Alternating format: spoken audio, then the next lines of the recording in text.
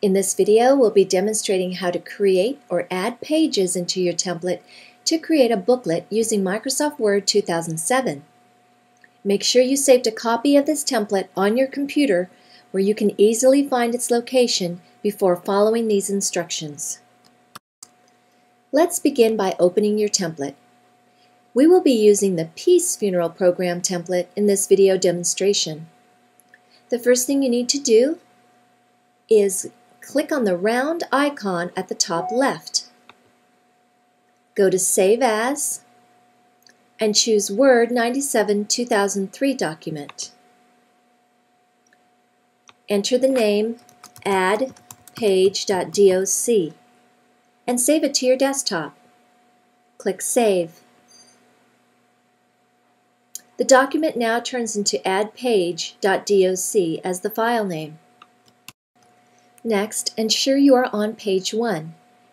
Your cursor should be blinking at the top left of page 1 as it is here. Then, go to the Home tab and all the way to the far right, choose the Select All. Then hit Delete on your keyboard.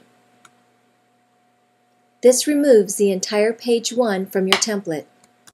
You should now be left with only one inside page. Close and save this template.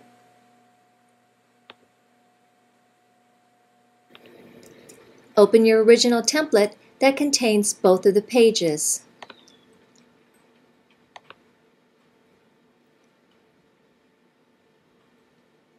Next, you want to click on the bottom left that says page 1 of 2. This opens up the Find and Replace pop-up menu. Go to Enter Page Number and type in the number 2. Click Go To and close. This takes you to the top of page 2 and your cursor should be blinking on the top left. The next thing to do is click on your Insert tab. Then move all the way to the right. Under Object, pull the menu down and select Text from File.